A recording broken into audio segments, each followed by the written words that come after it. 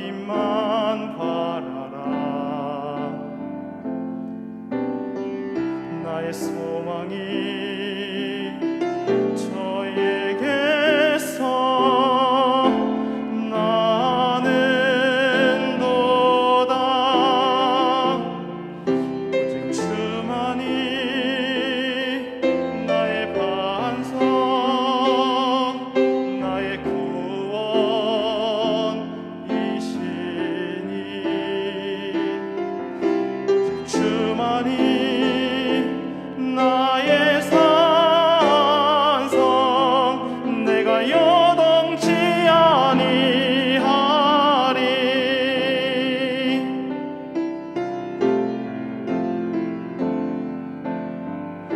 나의 영혼이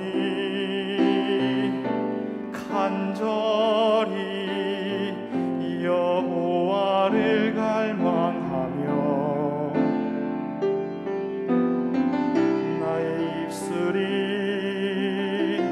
여호와를 찬양하리.